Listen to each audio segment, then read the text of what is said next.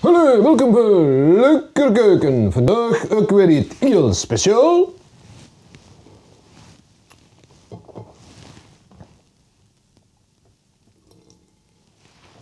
We doen er koffie bij de koeken. En zo heb je lekkere koffiekoeken. Smakelijk!